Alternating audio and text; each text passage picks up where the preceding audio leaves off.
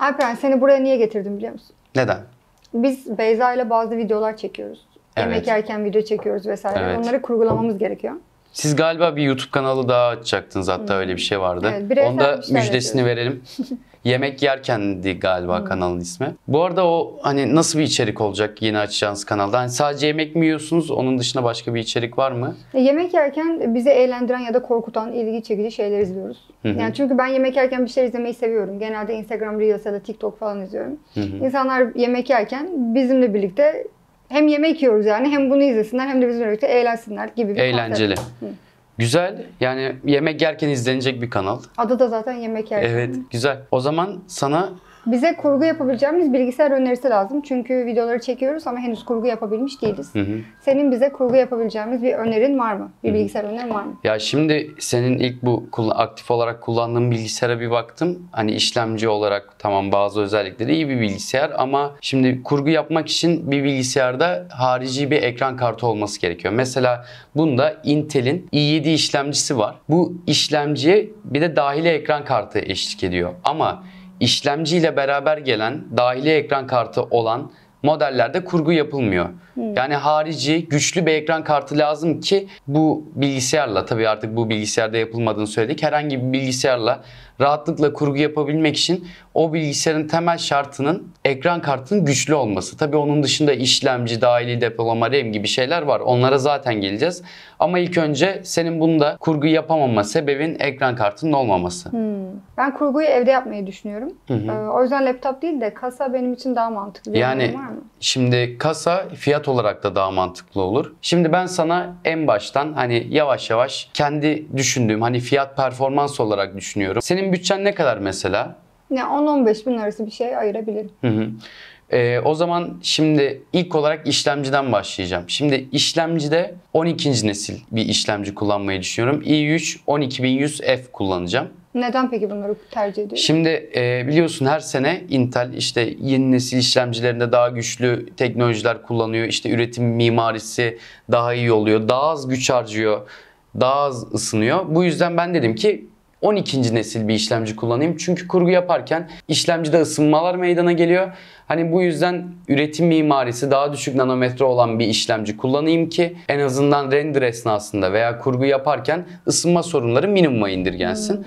Ben de bu yüzden Intel'in 12. nesil i3 işlemcisini tercih ediyorum. Az önce söylediğin mining'in popülerleşmesiyle ekran kartı da fiyatları da arttı. Evet. Peki böyle bir kasada senin uygun gördüğün ekran kartının bütçesi ne ve özellikleri ne? Ben burada GTX 1660 Super kullandım. Evet hani çıkış yılına baktığımızda 3-4 sene öncesinin teknolojisi ama bakıyoruz hani şu anda internette satılan uygun fiyatlı hem oyun hem kurgu montaj, animasyon gibi alanlarda kullanılan ekran kartı modellerine şimdi insanlar uygun fiyatlı ekran kartı görmek istediği için genellikle 1050 Ti, 1060 gibi ekran kartları tercih ediliyor.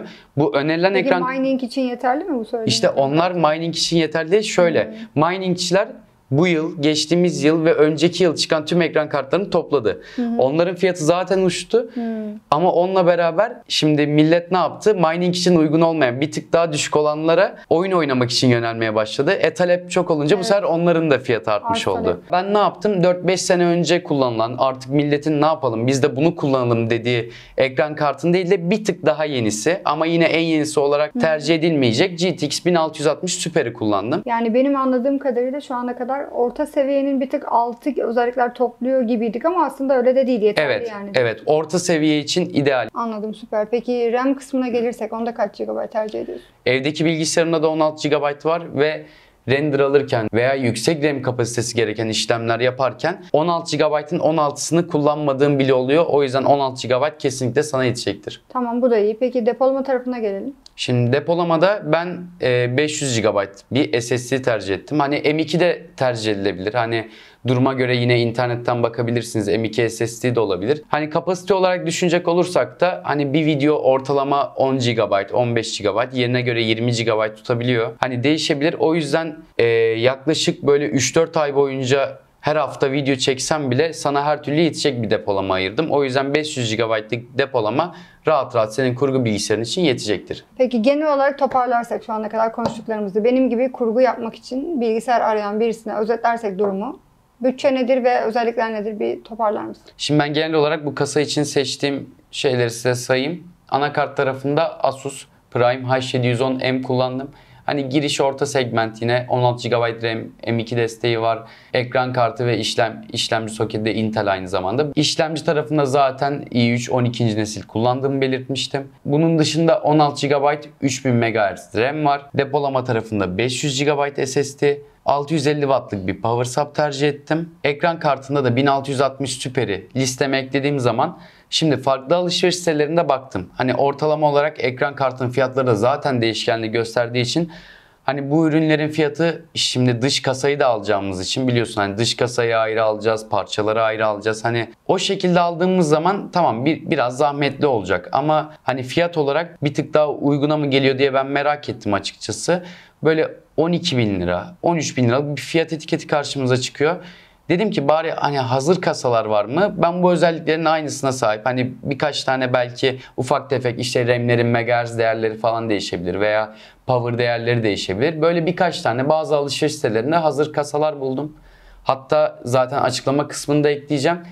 Benim bir tane bir alışveriş sitesinde bulduğum kasanın fiyatı ortalama olarak 11 bin lira.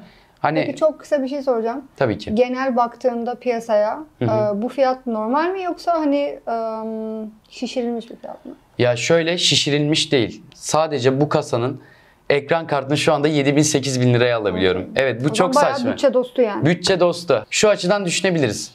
Mining ve virüs olayları çıkmadan önce bu ekran kartının fiyatı 1500 Hmm. Evet, liraydı. Artık Ama standartımız değişti yani. evet standartımız değiştiği için bu kasanın uygun fiyatlı olduğunu söyleyebiliriz. Okey. Bu kasa yalnızca kurgu yapmak isteyenler için değil, bu kasayla siz oyun da oynayabilirsiniz. Yüksek grafikli oyunları, Call of Duty Battlefield gibi oyunları da rahatlıkla kaldırabilecek bir ekran kartı. Ultra'da oynayamazsın. Çünkü zaten bu yıl ve geçtiğimiz yıl çıkan ekran kartları zaten sen her oyunu 4K çözünürlükte 60 FPS ve ultra grafiklerde oyna diye var. Biz yine o oyunları oynayabiliriz. Ama işte low'da oynarız. Hani bir tık daha düşük grafiklerde. Yani oyun tarafında da rahatlıkla bizim işlemlerimizi kaldırabilecek bir kasa. Yani profesyonel anlamda işimizi görür ama beklentiyi de çok yükseltmemek gerekiyor. Aynen Tam öyle. ihtiyacımız olan bu bence. O zaman anlaştık, Anlaştık, mı? alıyorum. Pazarlık yapıyor muyuz? Satıyorum.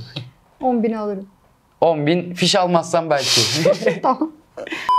Arkadaşlar ben bu kasayı çok beğendim. Eğer siz de kurgu yapmak ya da oyun oynamak için böyle bir kasa satın almayı düşünüyorsanız söz ettiğimiz özellikleri içeren bir ürünü kendi araştırmanızda bulabilirsiniz. Hani bizim eklediğimiz listede de aynı parçalar var. Hani siz şunu da diyebilirsiniz. Ben bu özellikleri beğendim. Farklı bir siteden almak istiyorum. Gidersiniz o parçaları tek tek bir sepete oluşturursunuz. Oluşacak fiyat belki de ilerleyen zamanlarda daha ucuz olacaktır. Öyle bir şey de tercih edebilirsiniz. Bir değerlendirin diye düşünüyorum. Bence mantıklı.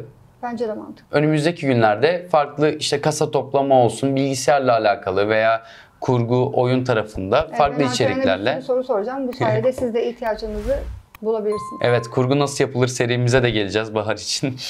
Önümüzdeki haftalarda farklı videolarla karşınıza çıkmaya devam edeceğiz. Kendinize iyi bakın. Hoşçakalın. Bye bye.